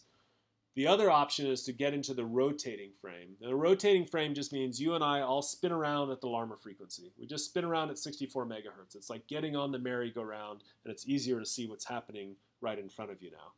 So uh, another description of that same radio frequency pulse in the rotating frame looks like this. We get rid of that precessional behavior, and the spin just simply tips down by 90 degrees. And so this is on the left-hand side is what's physically happening. On the right-hand side is conceptually just a little bit easier to, to understand. And this is why we call it a 90 degree pulse, that it tips into the transverse plane. You can sort of see it a little bit more easily here in the rotating frame. So again, lots of different um, uh, possible RF uh, pulses. Uh, excitation pulses is one category of pulse. Uh, you'll see uh, shortly that we use these 90 degree pulses tipping into the transverse plane for lots of sequences, for spin echo sequences in particular. But we also use smaller flip angles. Maybe we just tip a little bit, right? We could tip by 10 degrees. I still generate a little bit of transverse magnetization when I do that. Not all of this magnetization, but at least a little bit of magnetization. And there's reasons why, why using small flip angles may be effective for the image contrast that you want, uh, as an example. And there are other examples of using even larger flip angles. But these are all what I refer to as excitation pulses, going from the z-axis and tipping over partly or tipping over all the way by, say, 90 degrees. Another possibility, sorry, another possibility here is the inversion pulse, right? The inversion pulse will put RF energy into the system at the Larmor frequency, but do so long enough to actually uh, invert the magnetization. So it should show, let me get to the movie really quick. We'll come back to that. Um, here we can tip the magnetization over by uh, 180 degrees, right? So we've gone from, let's see, from the fully upright position to the fully inverted position. Now, it's not obvious why you might want to do that. Why would you want to take your spin system from here and turn it all the way upside down? But there are a number of applications. Most of them are related to manipulating image contrast and specifically introducing uh, more T1 weighting in your images. We'll talk a lot about T1 weighted images and T2 weighted images once we get through uh, sort of today's lecture. And so we'll talk about uh, using so-called short tau inversion recovery or STIR imaging for suppressing specific tissues like fat. Uh, we'll talk about FLAIR, uh, which is a, which uses an inversion pulse to suppress signal from uh, from fluids like CSF. lots of different sort of possibilities here, but uh, those will probably be the two most important ones. Another application that we'll see uh, a little bit, um, that we'll talk about a lot more tomorrow in particular, is the use of what we call refocusing pulses. And so this is your first introduction to a, to a pulse sequence. Uh, pulse sequences are just timing diagrams that tell us about the sequence of events used to generate the image that we're interested in. And this particular sequence is the spin echo sequence, and it uses a 90 degree pulse so the 90 degree pulse is going to bring the magnetization down, and then it uses a so-called refocusing pulse. And so watch, watch what happens here as the movie progresses. So the 90 degree pulse is going to tip the magnetization down, and now it's in the transverse plane. Now, unfortunately, because of sources of off resonance, we don't have a perfect B0 field. Sources of off resonance will this, cause the spins to precess at slightly different frequencies. This was that intravoxel spin dephasing I was talking about earlier. But someone, uh, Erwin Hahn, in fact, discovered this sort of neat trick that you can play a refocusing pulse. The refocusing pulse flips everything over like a pancake. That's a 180 degree flip. And now those same sources of off resonance actually cause those uh, spins to come back together again and help us form what we call an echo. So right when they come back together again, Imagine that they're also precessing, right? This is all happening at the Larmor frequency also. We can detect and measure a nice strong signal. So the hallmark of the spin echo sequence is this 90-180 pair. So if you see a pulse sequence diagram with a 90 and a 180, it's a spin echo sequence. Yeah, Joyce? Uh, I'll talk about that more tomorrow when we get to the spin echo lecture. Uh, what what it, the, the short answer is there's a lot of flexibility in that timing, but it does govern your your ultimate image contrast. And so I could, for example, uh, I play this 90. I have some dephasing here. I could play the 180 now and focus that amount of dephasing. If I wait longer, I have more and more dephasing. And now if I wait this long and I play my 180, then my echo will just form later. If I move my 180 to be earlier, then my echo will form earlier. We'll come back to that concept when we talk more about spin echoes. Uh, okay, so these 180 pulses really uh, give us the largest spin echo signal effectively. And they refocus spins due to off resonance, all those different sources of off resonance that we talked about before. Uh, lots of applications. I won't get into all of these today. We'll talk more about spin echoes uh, later, but RARE is one. It stands for the Rapid Acquisition with Relaxation Enhancement, and I apologize that MR has so much jargon. Uh, I try to sort of limit it, believe it or not. Um, and we'll get into some more details about the spin echo sequence, but remember that a, that a, that a, a critical ingredient to that sequence is this so-called uh, refocusing pulse, this 180 refocusing pulse. And there are other techniques as well, spin echo EPI, that we'll get to uh, much later. Okay, so quick true false. RF pulses are the main sources of patient heating. Yep, that's what causes, that's the one thing that we have to mitigate. We have to sort of manage RF pulses so that patients aren't heated up too much, or we stay within FDA guidelines. RF pulses excite spins and create transverse magnetization. True. Right? We're tipping the magnetization over. The RF energy goes in at the Larmor frequency, tips it over. We have transverse magnetization. We can use that for imaging. RF pulses are typically hundreds of milliseconds long. That was like a little tidbit in there a while ago. So hundreds of milliseconds is, is, is a long time scale. We're gonna we're gonna end up using like thousands of RF pulses to create images, right? And so uh, the, the, the, the hint here is that hundreds of milliseconds would be very long for an RF pulse. RF pulses are typically hundreds of microseconds or maybe a few milliseconds.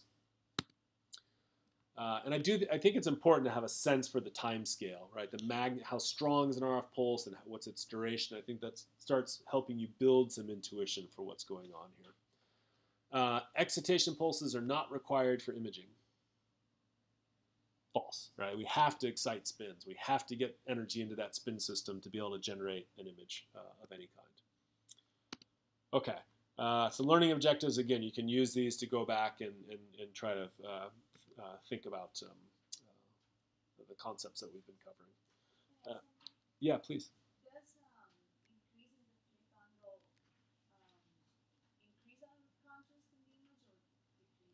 Um, it's such a great question.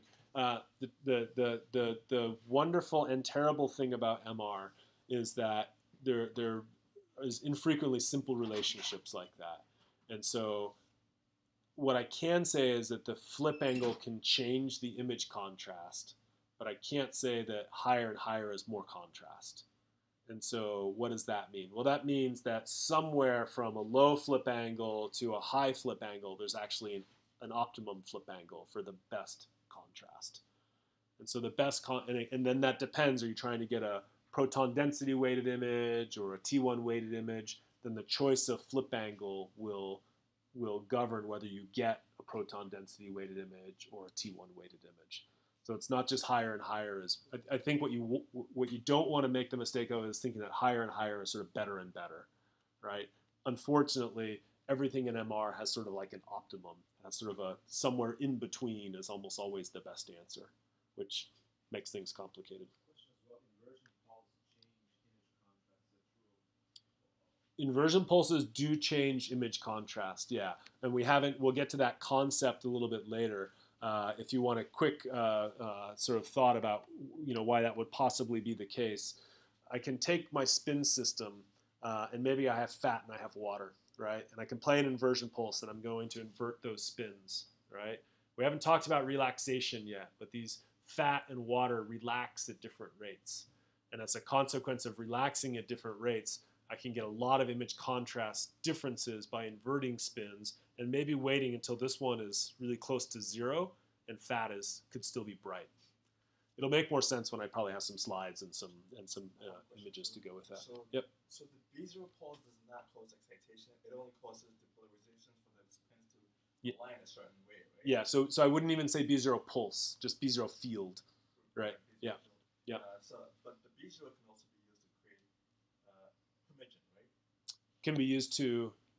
Um, so the last question basically is what I'm getting to. It says Ah. that um, you don't need to create excitation to Uh-huh. um, create an image, um, B0 can also be used, right? Th- those do not. We, we use them all together, right? And so the B0 field is always on, and the spins are always exposed to that B0 field. And that's what gives us this sort of like availability of spins. If B0 was off, then the spins just point in every direction, and it's not very useful. So B0 polarizes, and then B1 excites. Uh, so you need both, not just the B0. You need both. Yeah, correct. Yes, I see what you're getting at. Yes, you need both. Uh, let me just take a quick peek here.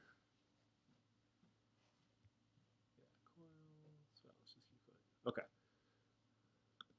Okay, so now uh, one of the uh, there's maybe two more hardware components to get through, and one is coils. And coils are our receivers, and this is a re- relatively massive array of coils. We wouldn't usually use this many coils uh, the, uh, for an individual patient, but it sort of demonstrates what's possible here, I suppose. So again, the idea is Faraday's law of induction. If I have a set of spins and the spins have a component of transverse magnetization after a B1 pulse, I can detect that signal if I have placed a nearby coil. So these precessing spins here will generate a signal in my coil. That coil is connected to a computer and I can measure this oscillation. Again, the real trick in MR is how do you store image contrast information? How do you store image pixel location in this echo, this signal that we receive? That's complicated, but we're going to work towards an understanding of that. And it's all through the principle of Faraday's law of induction that we can do this uh, at all. Uh, and the trick is encoding spatial information and image contrast. So lots of different coils in MR. Uh, coils can be used to transmit the B1 field. We saw that before, this sort of cutaway of the scanner and this B1 uh, element was there. Typically that's called what we call the body coil. It's possible that at some sites you can have a head coil or a knee coil that can also transmit and receive. Remember, we're transmitting radio frequency energy at the Larmor frequency, and we're receiving energy at the Larmor frequency. So these coils are uh, similar. In general, coils receive the NMR signal, and typically we have head, head coils, knee coils, body coils, various surface coils. Very infrequently do we use the so-called body coil. I know this, this is a little confusing nomenclature because, because we use the same word coil. But we have that coil in the middle of the scanner, the body coil here, which is built-in hardware component to the big tube, and that's really the principal exciter. It's occasionally can be used as a receiver. It's mostly the, the exciter. So this body coil here is the exciter. Uh, the other coils that we use are the receiving coils, and here's an array of possible receiving coils, right? Here's a wrist coil, here's a shoulder coil, a knee coil, uh, a coils that can be placed flexibly on the abdomen or the chest. Here's a breast coil, here's a foot ankle coil, lots of possibilities. And the idea is that you want the coil to be as close as possible to the anatomy of interest. Use a knee coil when you're imaging the knee. That'll give you, of course, the best images. And the closer the coil is to the anatomy, the stronger the signals. And that's why, in general, these are very conforming coils, right? The foot ankle coil really conforms to the foot and ankle uh, to get us the best image quality. Uh, there are, in fact, different kinds of coils. I won't spend a lot of time on this, but there are so-called volume coils and so-called surface coils. If you go back to this image here, this knee coil is a good example of a volume coil. It's very hard. All the elements are held and fixed in place in a very specific way, and that actually has certain advantages for receiving signals. But that's not always practical. If you want to image the chest and the abdomen, it's difficult to put someone inside a, you know something that's a, is, is sort of hard as a knee coil, and so we have these more flexible arrays, uh, which you can see here and over here. They conform to the body more, uh, uh, especially given the variability in sort of chest and abdomen shape relative to say head shape or maybe foot and ankle shape. And so we have a wide array of surface coils as well that generally are flex allow for flexible positioning and placement and they have high signal to noise maybe near the coil, but it falls off as you get more distant from the coil. So these coils are really sensitive to what's kind of immediately underneath them, or a few centimeters of what's underneath them. Uh, it turns out, uh, as an example at least, that the head coil actually has many channels, right? What does that mean? Well, this is the head image that we acquire, but that head image is actually a composite uh, from multiple channels inside the head coil. So there's a loop of wire, you know, sort of anterior here, and there are other loops of wire that are posterior. Each of those loops constitutes what we call a channel. And in this case, we get images from each of the channels, but each channel is really only sensitive to the tissue that it's close to. And we have to add up or composite all of these channels such that we get a nice uniform image of the head. So it's a subtlety. It actually matters because there are ways that we can use this sort of coil design to, in fact, speed up how quickly we can image. We are, after all, getting eight images simultaneously. They're just not uh, all images that are that cover the same anatomy equally well. And so here we would say that each coil or each each coil element or each channel has a unique what we call sensitivity profile it only captures certain parts of the anatomy well just because of its geometric location. Some, some are anterior and catch anterior tissues, others are posterior. Okay, coils, true or false. Faraday's law of induction is the principle underlying signal reception. Yes, right. We saw this kind of in a, in a couple different places today, but yes, that's that's the one you want to remember. The body coil is typically used for receiving MRI signals. No, right? So we had a bunch of surface coils, head coil, shoulder coil, knee coil, chest coil. Those we use for receiving. The body coil, if we go back just quickly, the body coil was this hardware element here, right? Uh, that is distant from the body, so it's not very good for receiving, but it's good at exciting.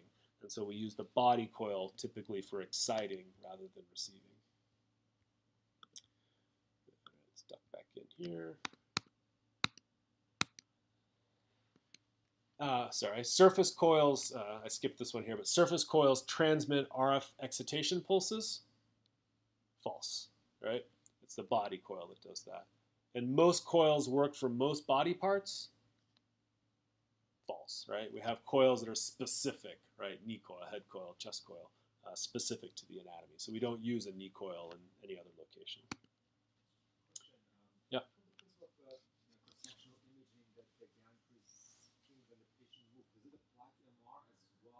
Yeah, so it's interesting. It, it, it doesn't in general, right? So uh, here there's no gantry, there's no spinning gantry as you would have in CT. Uh, in MR, in principle, you can sort of slide the table through and do like continuous imaging, more similar to what's done in CT. It just doesn't turn out to have the same advantage. And so more typically, the patient is stationary and the imaging system behind the scenes takes care of moving the slice through the patient. We'll talk about that actually in the, some in the context of gradients. So, so gradients, the GX, GY, GZ, what are these principally responsible for? What's their number one? Spatial encoding, right? So you have to remember it for that in particular. Okay, so let's take a, a, look at our hardware design again, and we can see that the gradients are sort of several and many components in here, right? So the Z gradient is in, in green, uh, the x gradient is in red, the y gradient is in yellow. Uh, it doesn't matter the exact sort of configuration of these things. It's just to point out that these gradient components are tucked away inside the big tube, right? The part that, the, that you uh, uh slide into. so we know this already, right? Um, you guys are picking up on this, I think. But the primary function of the gradients is to encode spatial information. We'll talk about how that happens much later. Slice selection, phase encoding, and frequency encoding are the three main steps. So that's a, um, just looking ahead to what we'll talk about when we get to that. Uh, there are secondary functions as well that we don't need to worry about here in particular. Uh, for each of the like B0 field, the B1 field, I was telling you sort of trying to give you conceptually what these things are. So this we'll do the same thing for the gradients. The gradients are relatively small. We measure gradients in terms of Gauss per centimeter. That's the most common way. And gradient just means slope, right? It has a it, it has a uh, um, uh, it, it has a function over distance. And so gradients are magnetic fields that vary over distance, right? That's why we measure them in Gauss per centimeter.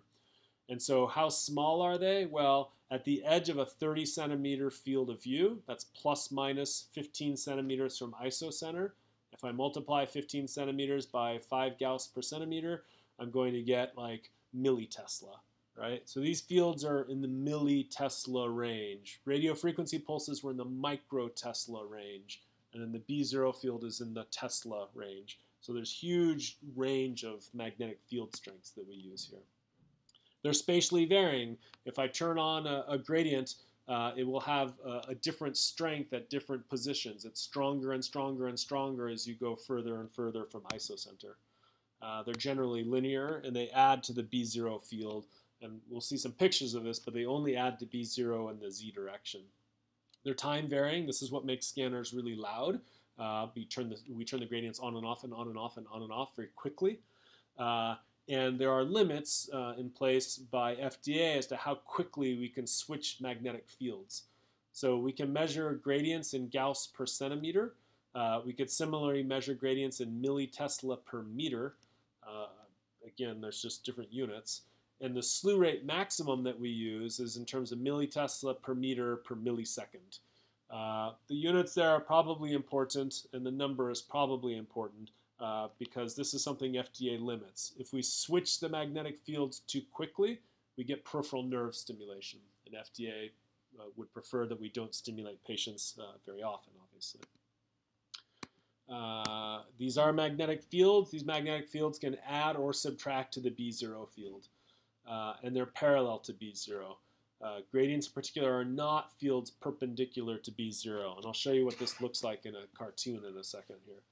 So here's an example of the B0 uh, of, of, a, uh, of the magnet again, right? And here at the very beginning, we're referring to this as the isocenter. Uh, when no gradients are turned on, then we just have B0 at the head, the say midsection, and at the foot. So it's B0 everywhere. And the application of a, uh, sorry, and with regards to B0, this means that uh, the direction and magnitude of the magnetic field is uniform everywhere. And we would usually show that with an arrow. They all point along the, C the Z direction. They all have the same amplitude. Uh, and as a consequence of having the same B0 field everywhere, then all of my spins will be precessing at the same Larmor frequency, right? Everything's going to zip around at, say, 64 megahertz per Tesla. Now, something interesting happens when we add the presence of a magnetic field gradient. Magnetic field gradients, we saw these hardware components before. Just quickly, if I run current through a wire, I can generate a field and I can run current in the opposite direction through a, a, a, coil, say, at your feet relative to your head. And this allows me to increase the strength of the field at your head and maybe decrease the strength of the field at your feet. And the consequence is something like this. If I have a z gradient and the z direction points in the head-foot direction, when I turn that z gradient on, I can increase the magnetic field at the, say, head end of the scanner, and I can decrease the magnetic field at the foot end of the scanner. And now I have a magnetic field gradient, right? The gradient has given me a spatial variation in the magnetic field. And this is actually a really useful thing. Why? Well, now the Larmor frequency becomes spatially dependent, right? This is your first insight to how imaging could possibly work with MR. And so the idea is that I have a stronger magnetic field at the head, I have the nominal field in the, in the middle, and I have a slightly lower field at the foot what's going to be different about the Larmor frequency uh, from top to bottom?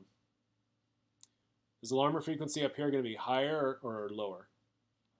Higher, right? I have a stronger B0 field. And at the foot of the scanner, is it going to be higher or lower? Lower, because I have some opposing field, right? So that means now I have a distribution of Larmor frequencies. High frequencies at the head, lower frequencies at the foot.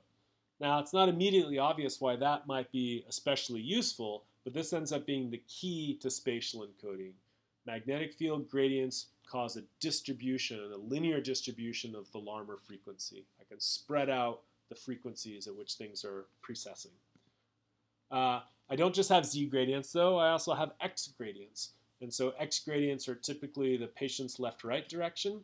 And if I turn on those x gradients in the left-right direction, I can get different precessional behavior on the left-hand side relative to the right-hand side, just like I did in the head-foot direction previously. So gradients actually give rise to isochromats. Isochromats were planes of common frequency. I can create isochromats, and that can be a very useful thing when it comes to spatial encoding. Uh, there are y gradients as well, and so the y gradients are usually the AP direction. And in the AP direction, I can cause spins to go more quickly or cause spins to go more slowly with the application of a, of a Y gradient. So here's a question. How would I get my magnetic field to have this particular shape? Everything's still pointed along Z, but I have a really low field in the, in the left, say, and a quite high field in the right.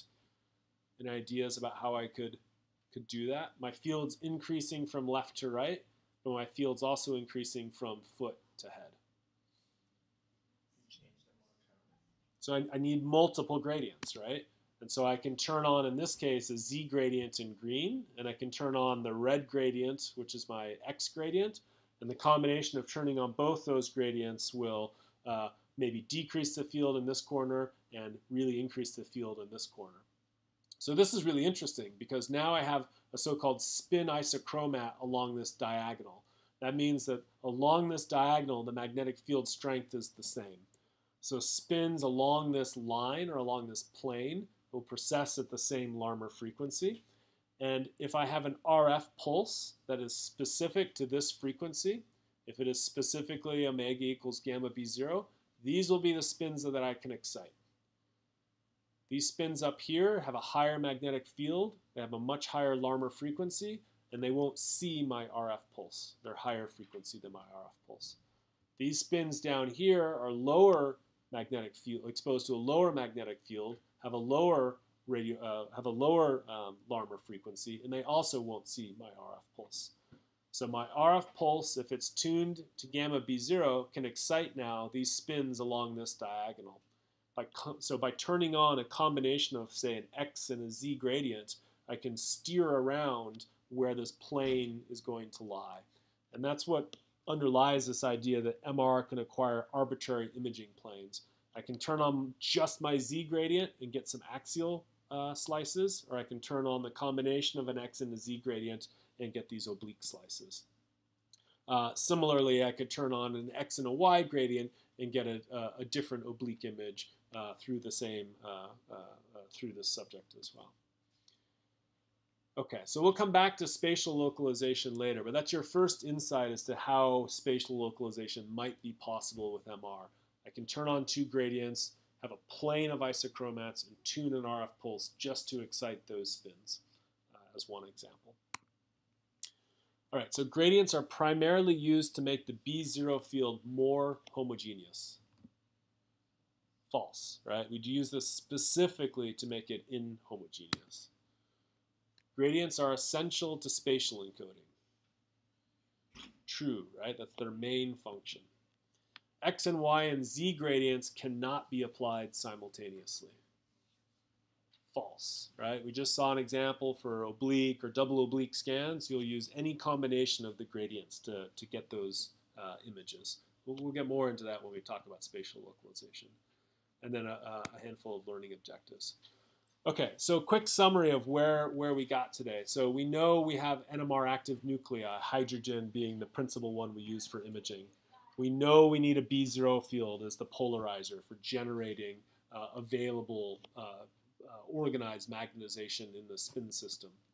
We know we need an RF system as the exciter. We have to put energy into the system at the right frequency to excite the spins. We know we need coils for receiving signals, right? We have specific coils, head coils, knee coils, whatever. We need to have a coil in place to receive that signal. And we need to use the gradients during all this to encode spatial information. We saw our first ideas about how that could work for isolating a slice just a second ago. And then, of course, we'll talk more about this, but we need computers primarily for reconstructing the images. Okay, I know it's a ton of material. Uh, it's really hard to, to, to sort of give this good service in four lectures, but I'll do my best. And I